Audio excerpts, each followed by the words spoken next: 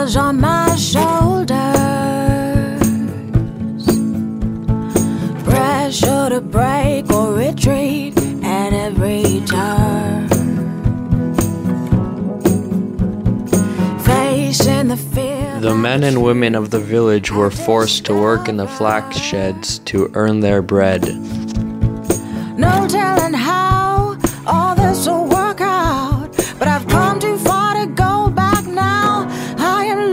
for freedom. Looking for freedom. Uh, uh, um, and to find it cost me everything I have. Well, I am looking for freedom,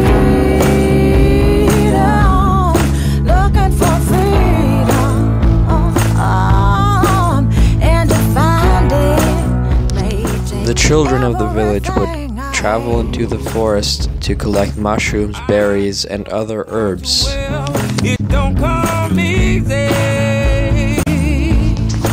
Everything that was harvested was brought to the scales to be weighed. The scales were owned by the richest family of the village, the Baleks.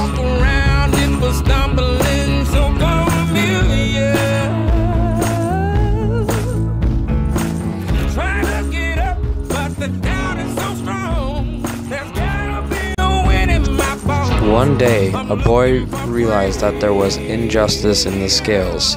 He then added five pebbles, and the scales were even. When the other villagers found out about this, they were outraged and they began to revolt.